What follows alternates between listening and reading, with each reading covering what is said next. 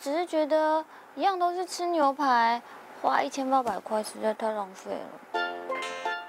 我记得你说过啊，当女生喜欢上一个男生，就会不自觉的帮他省钱。我猜啊，乌龟妹，你应该喜欢上我了吧？我，我啊，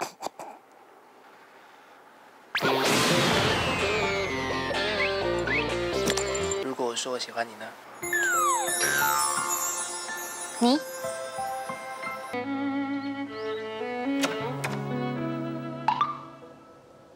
何群，何群，我们微笑 Pasta 不欢迎你这种客人。我是来找小诗的。找小诗啊？不给找！伯父，我是有东西要来还给小诗的。哼！什么东西啊？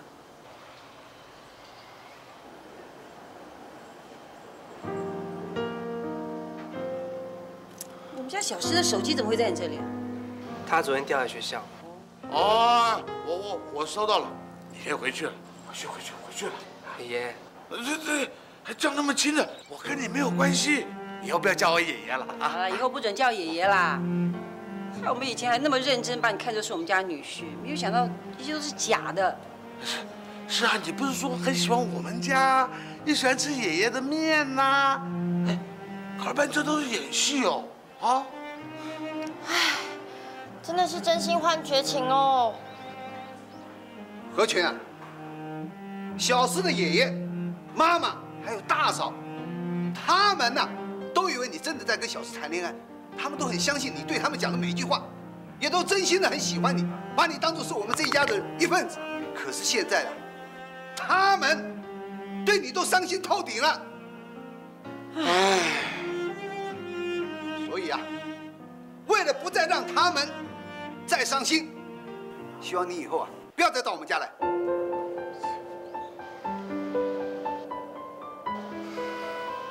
对不起。对于我跟小诗假订婚的事情，我跟大家道歉。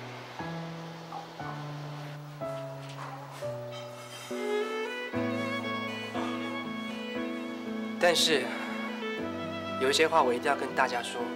虽然我跟小诗的婚约是假的，但是我说过喜欢你们家是真的。记得第一次到你们家的时候，感觉闹哄哄的，但是非常的温暖。那应该就是家的感觉吧。我说过你们这里的面，是我吃过最好吃的意大利面，也是我发自内心的真心话。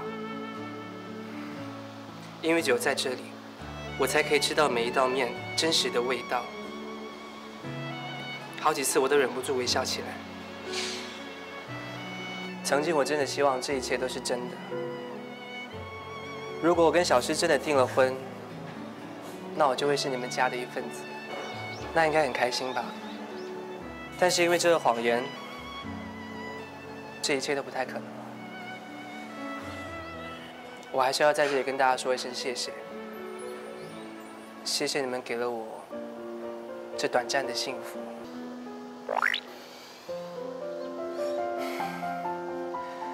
我想我才是小诗生命中的扫把星。自从他跟我扯上关系之后，就无辜的被卷入很多的无妄之灾。哎呦，你要跟我们小诗说对不起，当他的面说，知不知道啊？哎你不亲自对他说，他听不见的。我们可不负责帮你传话哦。我不负责的哦。可以吗？他在哪里啊？小诗他生病了，在房间里面。小诗生病了，有有没有怎样？看医生了没？严重吗？傻瓜，什么看医生啊？什么什么严不严重的？你要就亲自去看他啊！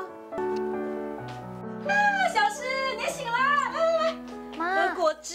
喝果汁。谢谢。妈，看一下好一点没有？啊，退烧了，退烧了。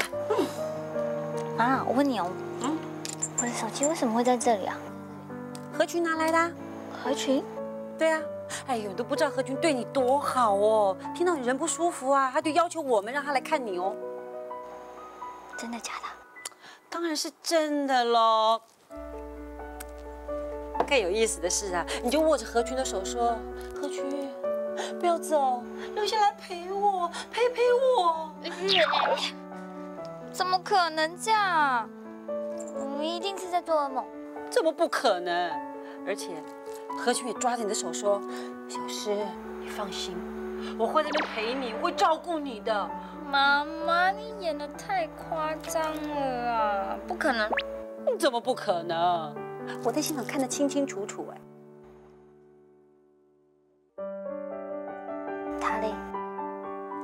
了。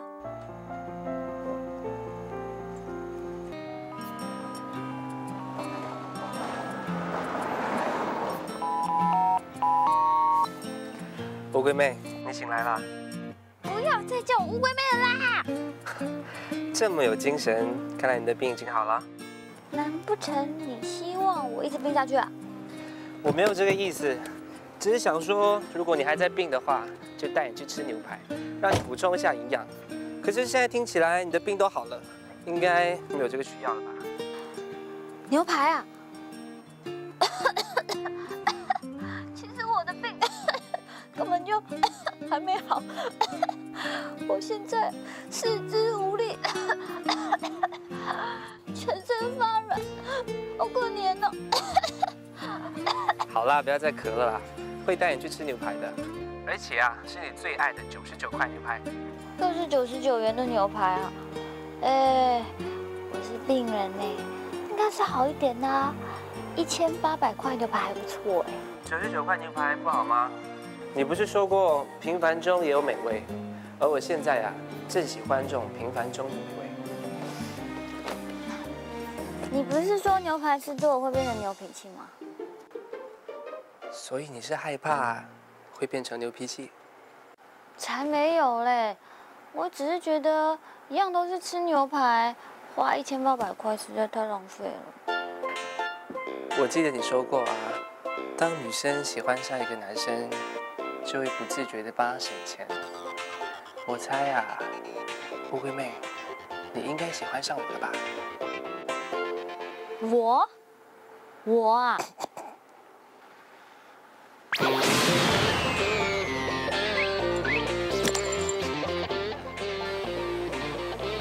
来你一直都在我后面。那你还一直问？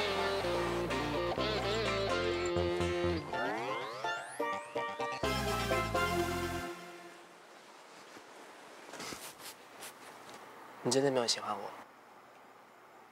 我，我没有。那如果我说我喜欢你呢？你，你不要开玩笑了。我是认真的。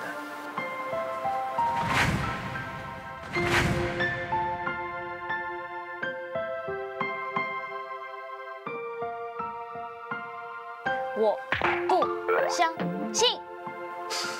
还好嘛，我还怕你发烧会烧坏脑，还很清醒啊，知道这是不可能的事情。我就说嘛，你一定是开玩笑的。当然是开玩笑的，我怎么可能喜欢一只又笨又会生病的乌龟？我说过你不要再叫乌龟。不开心啊？打我了？没办法，我怎么会在你那里啊？我们第一次见面的时候，你就留在我的车上，还不错嘛，还有良心。我已经都忘记他了，都不关心他，那就送给我吧。不给。为什么？这是给男朋友的。男朋友？那好吧，在你遇到下一个男朋友之前，就先陪着你。不然呢？不知道哪一天你会抓着我的手说：“不要离开我，不要离开我。”我哪有啊？我一定是在做噩梦。最好是。